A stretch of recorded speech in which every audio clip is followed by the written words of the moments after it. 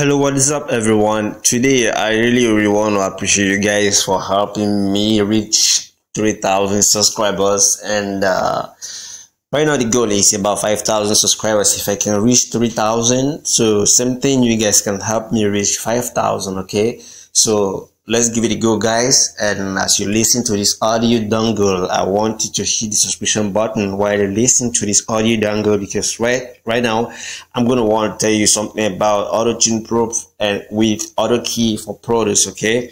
And autotune pro adds uh, automatic key and scale detection with the new auto key plugin include with your autotune pro purchase okay uh, a classic mode algorithm which brings back the celebrated auto-tune 5 sound real-time MIDI parameter control and ARA which means audio random access okay? Functional functionality for closer integration with supported host applications. Both the auto mode and graph mode interface have been redesigned and optimized to offer the most efficient flexible and intuitive workflow for professional users and beginners alike.